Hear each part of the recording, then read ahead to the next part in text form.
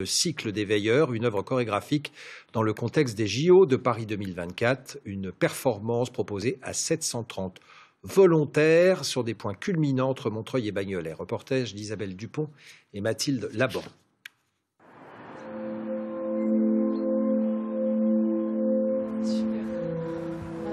Ah, c'est génial. Déjà la vue, c'est extraordinaire. À l'heure où la ville est plongée dans l'obscurité, une drôle d'expérience va commencer.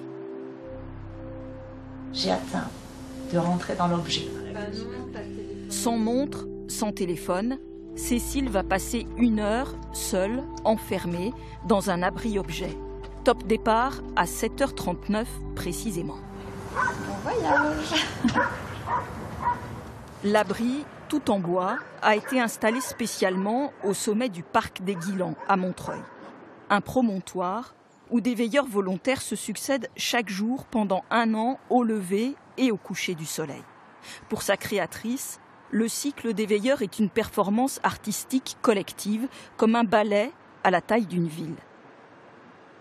La chorégraphie euh, et cette présence, le corps qui s'imprime sur l'espace et sur le temps, euh, est-ce que le veilleur regarde le spectacle de la ville ou est-ce qu'il y a quelqu'un qui voit le spectacle des veilleurs? Une heure, debout, face à l'astre solaire, caché par les nuages.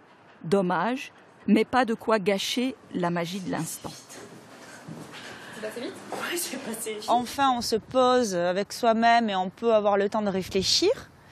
Mais à la fois, en fait, on, on se sent sincèrement hein, de faire partie d'un tout et de d'être avec les autres. On est spectateur, mais on sait qu'on va refaire partie du groupe là bientôt. Les émotions et les mots des veilleurs forment ensuite un livre. Jusqu'en octobre 2022, la Maison populaire de Montreuil gère le planning. Il reste des places pour les lève-tôt et les couches tard, pour cette petite heure de rêve dans un merveilleux placard.